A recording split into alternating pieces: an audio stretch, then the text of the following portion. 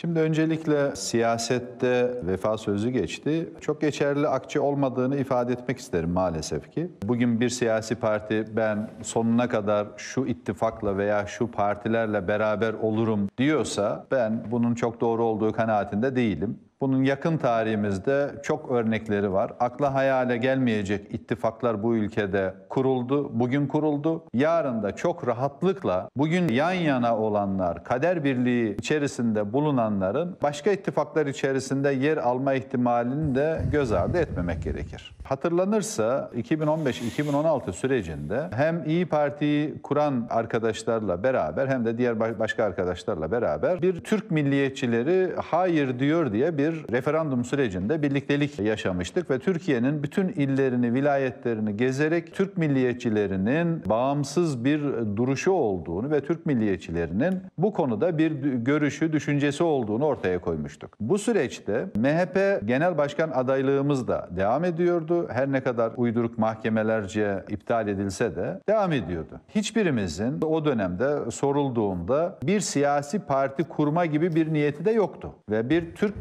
milliyetçilerinin fikirsel anlamda, hareket anlamında bir birlikteliği, bir bütünlüğü söz konusuydu. Ve bu süreç eğer devam etmiş olsaydı örneğin Cumhurbaşkanlığı sürecinde de Türk milliyetçilerinin kendi Türk milliyetçisi olan bir Cumhurbaşkanı adayı olacaktı. Ancak bu arkadaşlar gidip ayrı bir siyasi parti kurarak Millet İttifakı içerisinde de yer alarak Türk milliyetçilerinden kalın bir hatla ayrıldılar. Gittiler ayrı bir siyasi parti kurdular. Bugün baktığınız zaman anketlerde görüyoruz ki Türkiye'deki en büyük kitlelerin başında Türk milliyetçileri geliyor. Ama Türk milliyetçileri şu an Milliyetçi Hareket Partisi, Adalet ve Kalkınma Partisi Genel Başkanlığı destekliyor. Bu tarafa baktığınızda ise İyi Parti kendi Cumhurbaşkanı adayını çıkardı ama daha çok oy alan olan Cumhuriyet Halk Partisi'nin adayı oldu. Yarın muhtemelen yine Cumhuriyet Halk Partisi'nin belirleyeceği bir isim üzerinden yürünecek. Dolayısıyla da benim baktığım noktada şunu görüyorum ben. Maalesef ki Türk milliyetçileri bugün birkaç parçaya bölünmüş durumda ve esas büyük kitle ise bu süreçte ne İyi Parti içerisinde ne Milliyetçi Hareket Partisi içerisinde. Zaman zaman tartışıyoruz. Ana muhalefet partisi CHP mi yoksa kararsızlar mı diye konuşuyoruz bunu. Türk milliyetçiliği hareketinin önemli bir kitlesi bugün herhangi bir siyasi partiye mensup da değil.